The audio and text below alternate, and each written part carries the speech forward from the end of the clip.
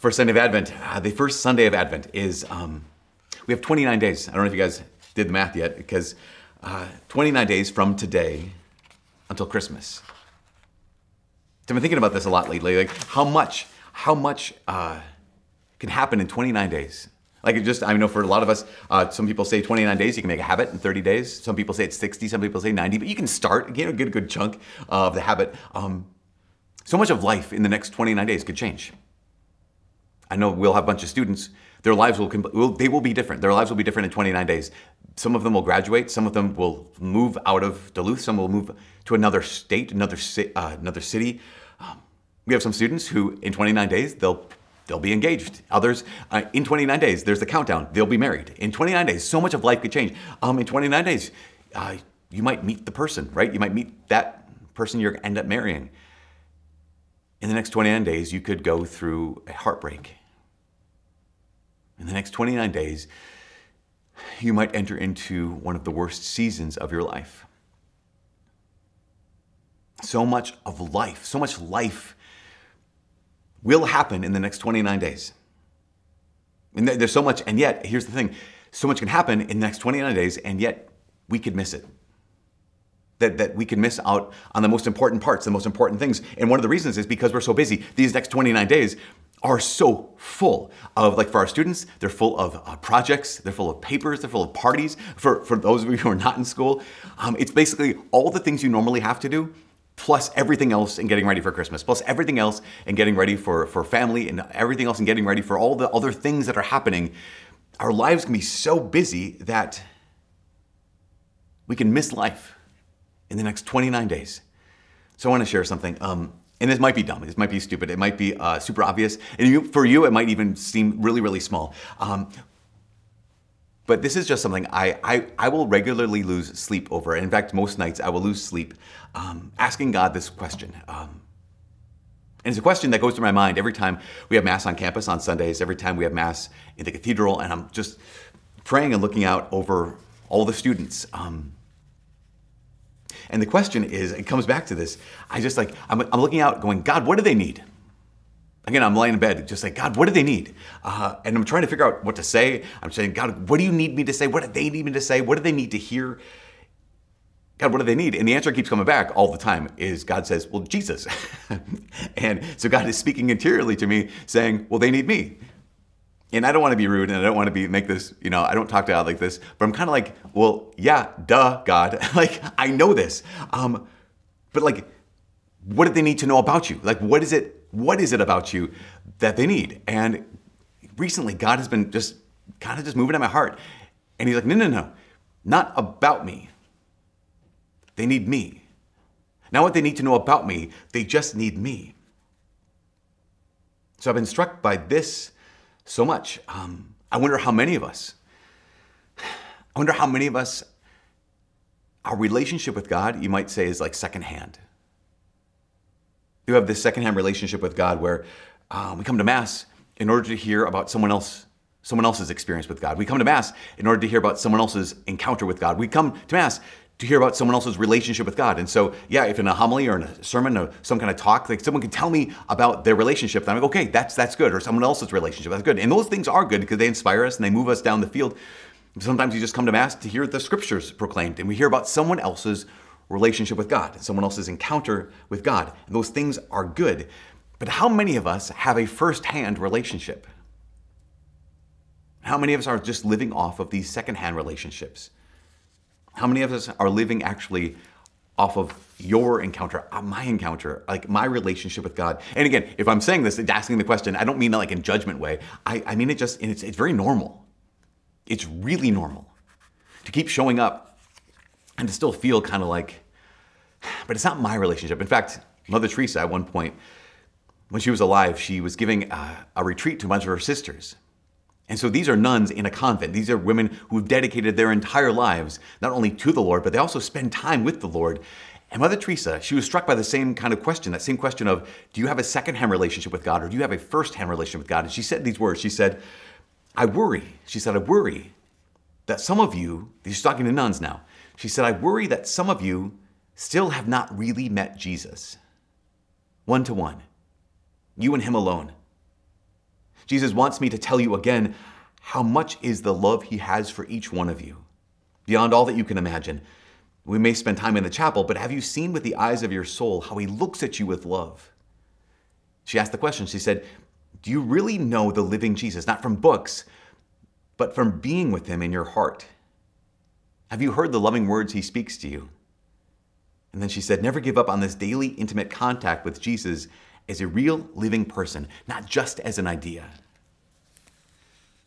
And the reality, of course, is that sometimes we don't have a first time relationship because it seems like it's God's so easy to miss. Because it can seem so difficult because I wonder if maybe we're missing something right in front of us these next 29 days, if we'll be missing something right in front of us. So there's the story of, of I mentioned this two weeks ago, the story of Jacob and Esau, the two twin brothers, right? The, the sons of Isaac and Rebekah. Um, twin brothers, Esau was the oldest, so he naturally we had a right to the birthright and to the blessing. Now, we heard two weeks ago how Jacob was made the red stuff, and Esau came in from the field and he said, Give me some of the red stuff. And Jacob said, I'll give you the red stuff if you give me your birthright. And so uh, he says, Fine, you can have my birthright, give me the red stuff, make that exchange. Later on, uh, Jacob deceives his dying and blind father, Isaac, by pretending to be Esau, and he receives the blessing. And so he steals the blessing essentially. He, he you know, tricks, not tricks, but he exchanges the birthright for some stew, and then he tricks his father to give him the blessing. Esau finds out about this and he literally wants to kill his brother Jacob. So Jacob has to run into the into the wilderness. Jacob goes into the wilderness, and this is Genesis chapter 28. Jacob on the run from his brother who's trying to kill him. He goes to a place called Bethel. And at Bethel, uh, he lay down to sleep. And this is kind of remarkable because here's the part that's remarkable to me. He said, um, taking one of the stones at the shrine, he put it under his head and lay down to sleep at the spot. So he used a stone as a pillow, which I just, I don't know, just strikes me as being weird. Anyways, he goes to sleep.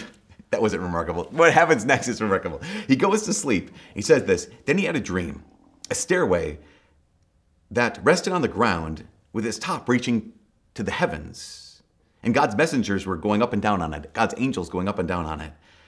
And there was the Lord standing beside him, saying, I am the Lord. I am the God of your forefather Abraham and the God of Isaac. The land on which you are lying, I will give you and your descendants. Know that I am with you, he says. I will protect you wherever you go and bring you back to this land. I will never leave you until I have done what I promised you. And then Jacob wakes up and he utters these words after he has this image, this vision, this recognition that God is here. He says these words. He says, God was in this place, and I did not know it. God was here, and I didn't know it.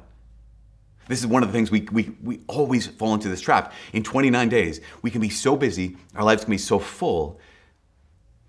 God can be so close, and we don't even know it. And that's the truth. The truth is, God is not distant. The truth is, God is not far off. The truth is, He is closer than you think. And so that's, that's, that's our series for the next four weeks. That's what we're going to be focusing on. That God is closer than you think. For the next 29 days, we're highlighting this, this reality, this truth, that He is closer than you think. Because this is the series for Advent. Again, Advent is what? It's a, it's a time of preparation, right? It's pre- preparing either to celebrate the first coming of Jesus in the Nativity, Christmas, or it's time preparing for the final coming of Jesus at the end of the world. Right? These are the two comings of Christ the first coming of Christ at Christmas, and the final coming of Christ in glory at the end of time. But saints have always talked about there's this middle coming of Jesus. And this middle coming of Jesus is the fact that he continues to come to us now, that he continues to come to us in the Spirit, and he continues to come to us in the Eucharist. And so, yes, we're going to spend 29 days preparing to celebrate the first coming of Jesus and preparing to enter into the final coming of Jesus. Those, that's in the past and that's in the future. We want to live now. The only time we can live is now. The only place we can live is here. So we have to recognize that God is also now. God is also here, and God is closer than you think. And again, if we miss this over the next 29 days, we could miss everything because we don't know. We have, that's why Jesus says we have to stay awake. Because he's basically saying, you can't miss this. These next 29 days, you can't miss this. You can't afford to. You know, again, at the same time, I realize people said, but it's so busy, Father. You have no idea. We just said it is the busy season. If there's any busier time in people's lives, like across the board, I don't know what it is. not only is this a, possibly a busy time, this also can be a really, really difficult time for so many people. And I get that. Like, I completely understand that. But that's how life goes. That's just life. Life is busy, life is difficult. But God is closer than you think. And we can't wait for things to be perfect in order to find Him in it. Mean, even think about the first reading. The first reading is from Isaiah chapter 2. And, and what does Isaiah say in, in this in the second re- the first reading? He says, "In days to come, the mountains of the Lord's house, which is Zion, right, Jerusalem, shall be established as the highest mountain." In days to come, he says, all nations will stream towards this place. They'll come into Jerusalem. He says, ever all people shall come and say, Come, let us climb, let us climb the Lord's mountain. He says, the day will come when we'll beat swords into plowshares and spears into pruning hooks, right? We, there'll be a time of peace, basically, what he's saying. And he says, again, this is coming. This is what's going to happen. Prepare for this. Look forward to this. But I don't know if you know this. Do you know the next thing that happens to the people of Israel? Isaiah is saying this is what's going to happen. Everyone's going to come to Jerusalem. It's going to be this great place of worship, a great place of encounter with the Lord. It will be a place of peace. The next thing that happens to Israel is Babylon comes into Jerusalem. They besiege Jerusalem. They starve the people there. They beat them. They kill many of them, and they exile the rest. That's the next thing that's happening to the people in Jerusalem, the people that Isaiah today in the first reading is writing to. It was one of the worst chapters in the history of a people who have a lot of chapters that are really dark and really difficult. But Isaiah is saying, even in this, he's here. Even in this time that is not perfect, even in this time that is one of the darkest moments you could ever imagine, he's here. He's close. Now, don't miss it. Don't miss him. And here's the thing I don't want you, I don't want myself to miss him either. Because things could be different in 29 days. But it's going to cost something. It's going to take 29 days of decision. To realize that God is closer than we think, it's going to take 29 days of a decision. I first met Tom a few years ago when he was in the federal prison here in Duluth. And uh, back in 2008 with the market crash, housing crash, everything, all the bubble, everything that went down, the housing schemes and Ponzi schemes. Um, you know, the biggest, most powerful people, they didn't go to jail. Many of them didn't. But uh, the small people, the little guys, uh, who maybe sometimes didn't even know what was going on, they got to be the scapegoats, and Tom was one of the scapegoats. And uh, remember him saying, yeah, they could just say, throw him in prison, ruin his life, who cares? his reputation was destroyed. Um, his family was devastated, obviously. And, and Tom said this. He said, he said, that can happen to a person. He says, one walks away bitter and angry. Someone can walk away from the whole experience. Here you are, blamed for all these things that he, again, didn't necessarily have a ton of responsibility for, but blamed for it, reputation destroyed, family devastated, sent to federal prison for years and years. And he says, one walks away bitter and angry. And he said, I walked away with so much gratitude. He said, It cost me everything, but it's been worth every single tear. Why? Because he said, uh, It gave me the opportunity to lay down my life. It gave, me the opportunity to spend my time with Jesus and the Eucharist. Said, It gave me the opportunity to raise up an army of adorers of Jesus and the Eucharist in the prison. So he described it what life was like in the prison. That in the prison they had a shared chapel, and that shared chapel was it was shared with twelve other like religions, including Satanism. So they had this place where they would have mass, or also be a place where right next door where they have like witchcraft things. But in that chapel, right in the loft above this chapel, they have a tabernacle. They have where Jesus is truly present in the Eucharist. And Tom said he spent I think in the years he was in prison, he said he spent something like 15,000 hours with his arms wrapped around the tabernacle, his arms wrapped around Jesus, begging the Lord, like, Lord, raise up, raise up an army of adorers, people who know you're truly present here and will love you and will adore you. At one point, Tom told the story of uh, this man named Rick. Uh, Rick uh, was Rick had been a 40 year meth addict. Rick had been in the Hells Angels Rick had lived a hard life. And in the Hells Angels, there was murder, there was all the other things that go on with being. He, Rick was a rough guy, he was a tough guy. He'd been in Leavenworth for like 12 to 14 years. And when he moved, got moved to Duluth, he was uh, Tom's cellmate for like two days as he was being processed. And then he moved on. And But Rick, uh, Rick, at one point, came up to, to Tom and he said, Tom, I've been watching you. Imagine if one of the former Hells Angels comes up and he says, I've been watching you. I'm like, okay, maybe not so much. Um, Rick was about 62 years old at the time. Tom, I've been watching you. He says, I've been reading the Bible. He says, I've been going to Bible studies, bopping in and out of this one and that one. And I've been trying to get close to the Lord. But see, he says, and I've been studying the Bible because he'd been in jail for a long time reading the Bible. He said, I've been studying the Bible for a long time. But you have something, Tom, I've never seen before. He said, You have something, Tom, that I want. He said, How do I get it?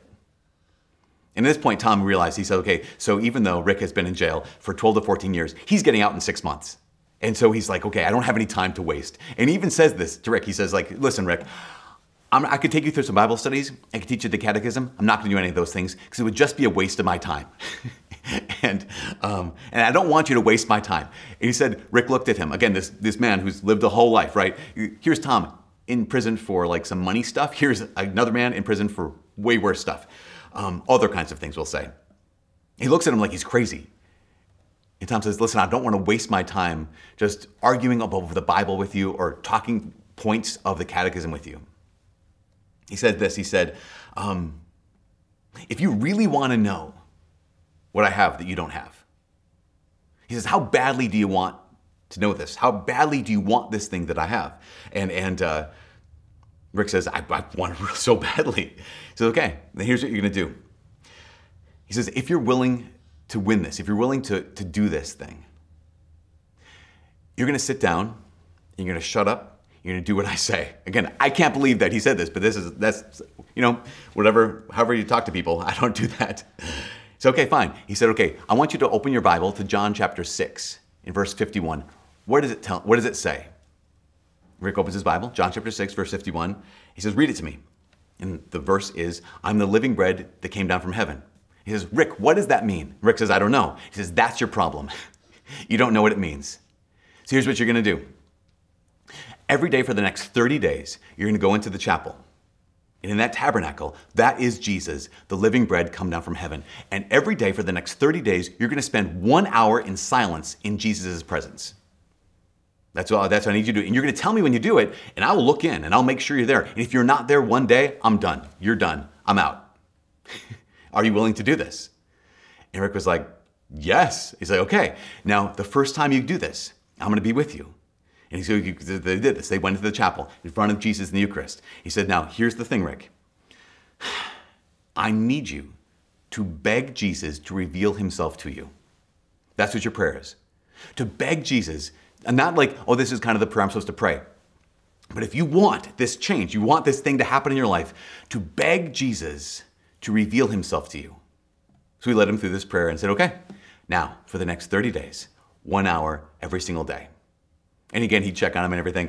Uh, Tom said on day 27, there's, the, the, the compound of the federal prison is like a 90 acre compound with a lot of outdoor space.